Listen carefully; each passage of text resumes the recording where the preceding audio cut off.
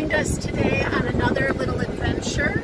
We are on our way to a huge greenhouse in the south suburbs of Chicago. Um, we have to want to pick up a couple more um, rhubarb crowns to go in our rhubarb patch that we're planting. And so we're on our way. Um, come along and see what we get up to. So we're just arriving at the greenhouse and you can see it's a huge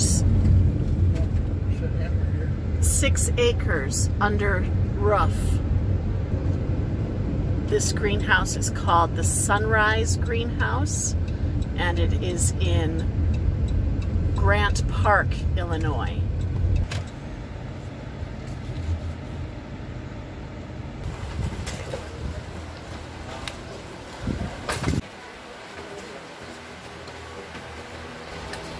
We'll divide and conquer here. Streets with boys' names. That would be Dale Street. So that's what we want. I see Dale up ahead. Oh, it's right at the front, huh? Oh yeah, sure enough.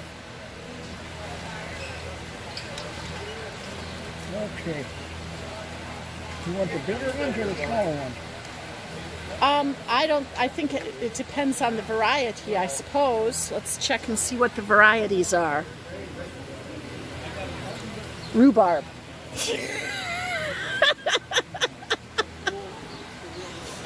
How about we um, cut the, split the difference and do um, one of each?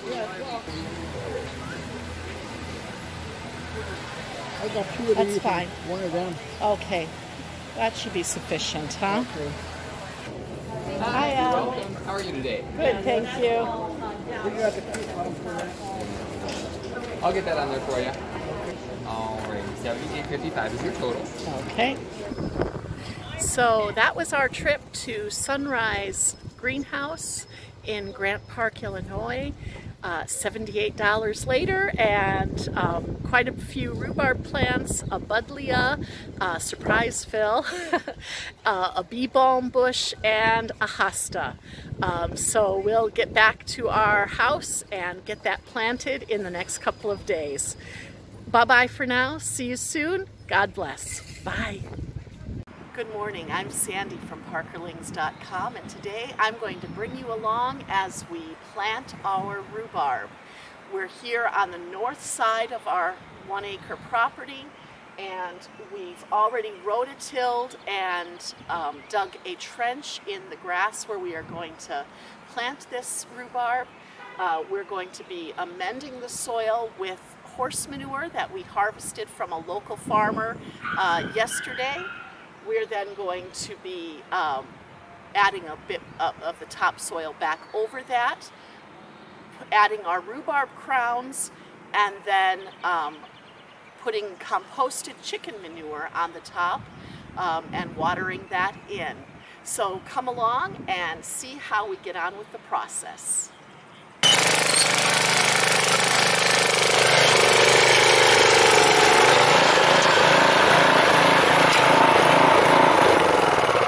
I think well, I think that's deep enough.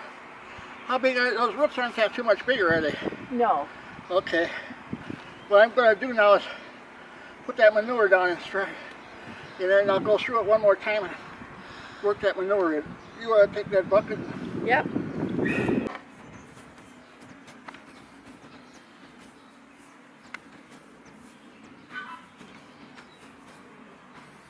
Good.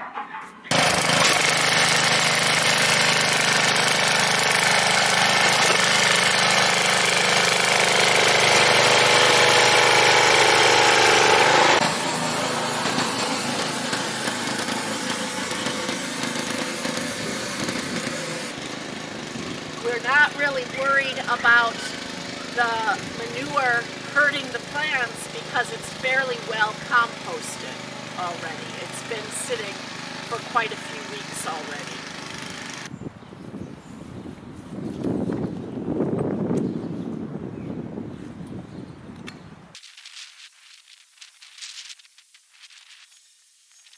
So this first variety that we've planted is Heirloom Victoria. It's a real nice plant. You can see it there. We're back from our hiatus of um, our, our road trip to the greenhouse to pick up a few more crowns. We picked up five in the end. Um, the four little ones that we've got have a variety called quote unquote rhubarb and the large crown is an heirloom Victoria just like the crown we planted earlier today. So we're going to finish getting these planted up and then put the compost and um, anything else that my dad wants to use to amend. Right now dad is working with the skid steer to level out the yard.